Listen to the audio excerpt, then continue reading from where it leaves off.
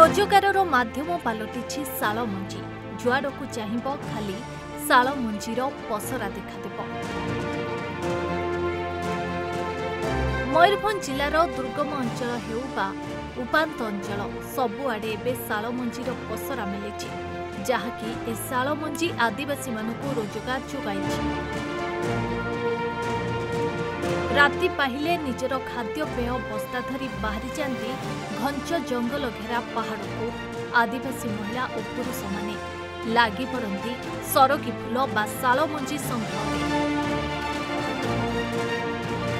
ସଂଗ୍ରହ କରିଥିବା ଶାଳ ମଞ୍ଜିକୁ ଖରାରେ ଶୁଖାଇବା ପରେ ନିଆଁରେ ପୋଡ଼ି ଶାଳ ମଞ୍ଜିର ପାଖୁଡ଼ାକୁ ଅଲଗା କରିଥାନ୍ତି। ପର ମୁହୂର୍ତ୍ତରେ ସେ ଶାଳ ମଞ୍ଜିରୁ ରଗଡ଼ି ସଫା କରି ବାହାର କରିଥାନ୍ତି ମଞ୍ଜିକୁ। ତାପରେ ଏହାକୁ ବିକ୍ରି କରି ବେଶ୍ ଦୁଇ ପଇସା ରୋଜଗାର କରିଥାନ୍ତି। ଦେଖନ୍ତୁ ଶାଳ ମଞ୍ଜି କମ୍ ରେଟ୍ରେ ବିକ୍ରି ହେଉଛି। ଆମେ ଯେହେତୁ ଗାଁ ଗହଳିରେ ରହୁଛୁ ତାର ପ୍ରକୃତ ରେଟ୍ କେତେ ସେଟା ଆମେ ଜାଣିପାରୁନୁ। ଶାଳ ମଞ୍ଜି ସଂଗ୍ରହ କରିବା ପାଇଁ ବହୁତ କଷ୍ଟରେ ସଂଗ୍ରହ କରାଯାଉଛି। ଯେଉଁଟାକି ଖରା ଭୀଷଣ ଖରାରେ ଛୋଟ ଛୁଆଠୁ ଆରମ୍ଭ କରି ବୁଢ଼ାବୁଢ଼ୀ ଯେତେ ସବୁ ଘରର ସମସ୍ତେ କାମଧନ୍ଦା ନାହିଁ ବେଳେ ଆମେ ସେଟା ସବୁ ସଂଗ୍ରହ କରିବା ପାଇଁ ଜଙ୍ଗଲକୁ ଯାଉଛୁ। ଆଉ ଜଙ୍ଗଲରୁ ଯେତେବେଳେ ସଂଗ୍ରହ କରିକି ଆଣିକିରି ତାକୁ ଅମଳ କରିକି ବିକ୍ରି କରିବା ସମୟରେ ଆମେ ଦେଖୁଛୁ ଯେ ଆମ ପରିଶ୍ରମ ଅନୁସାରେ ତାର ଦାମ କିଛି ନାହିଁ। ଆମେ ଯେତିକି କରୁଛୁ ଦିନ ସାରା ଯଦି ପାଞ୍ଚଟା ଉଁ, ଲୋକ ଆମେ ଗୋଟେଇକି ଆଣୁଛୁ ଜଙ୍ଗଲରୁ ତାର ବିକ୍ରି କଲା ବେଳକୁ ତାର କିଛି ମାନେ ଆମର କିଛି ପଡ଼ତା ପଡ଼ୁନାହିଁ ଯେଉଁଟାକି ଦୁଃଖର କାରଣ। ସରଗୀ ଫୁଲ ବା ଶାଳ ମଞ୍ଜିରୁ ବିଭିନ୍ନ ପ୍ରକାର ସାବୁନ ଓ ତେଲ ଭଳି ଜିନିଷ ତିଆରି ହୋଇ ବଜାରରେ ବିକ୍ରି ହେଉଥିବା ବେଳେ ଏହାର ଚାହିଦା ମଧ୍ୟ ବେଶ୍ ଭଲ ରହିଛି।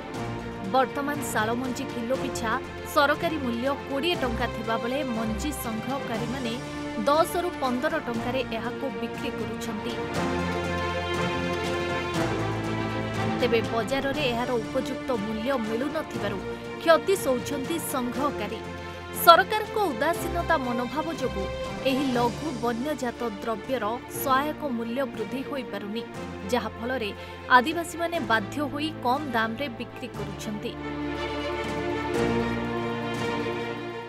ଏଇ ଯେଉଁ ଦେଖୁଛନ୍ତି ଆମର ଇଏ ହେଉଛି ଗରିବ ଅଞ୍ଚଳ ଆମର ଆଦିବାସୀ ଅଞ୍ଚଳର ଲୋକମାନେ ଜଙ୍ଗଲ ଯାଇକି ଆମର ଶାଳ ମଞ୍ଜି ଶାଳ ପତ୍ର କିମ୍ବା ଆମର କେନ୍ଦୁ ପତ୍ର ଯେକୌଣସି ଜିନିଷ ଶା- ଆମର ଜଙ୍ଗଲ ଉପରେ ନିର୍ଭର କରୁଛନ୍ତି।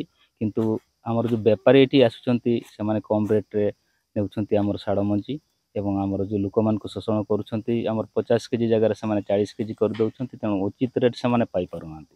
ତେଣୁ ମୁଁ ସରକାରଙ୍କୁ ନିବେଦନ କରିବି ଆମର ଏଇ ଯେଉଁ ଗରିବ ମାନେ ଦିନସାରା ଖଟିକି ଯେଉଁ ଆମର ଶାଳ ମଞ୍ଜି ପ୍ରସ୍ତୁତ କରୁଛନ୍ତି ତେଣୁ ସେମାନଙ୍କୁ ଉଚିତ ରେଟ୍ ଦିଆଯାଉ।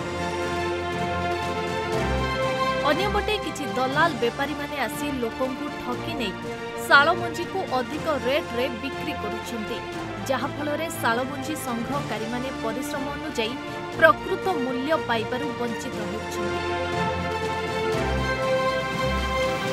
ତେବେ ଖରା ଦିନରେ ଏହି ଶାଳ ମଞ୍ଜି ଯେତେବେଳେ ଆଦିବାସୀମାନଙ୍କର ରୋଜଗାରର ମାଧ୍ୟମ ସାଜିଛି ପରିଶ୍ରମ ଅନୁଯାୟୀ ମିଳିପାରୁନି ମୂଲ୍ୟ।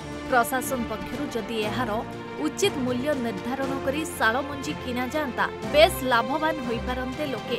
ତେବେ ଏଥିପ୍ରତି ସରକାରଙ୍କ କେବେ ଶୁଭ ଦୃଷ୍ଟି ପଡୁଛି ତାହା ଦେଖିବାକୁ ବାକି ରହିଲା। କରଞ୍ଜିଆରୁ Dibyaranjan ଗିରିଙ୍କ report Odisha fast. Kanha gold ଖାଇବା ତେଲ। ବନ୍ଧନ ବିଶ୍ୱାସର ତୃପ୍ତି ସ୍ୱାଦର।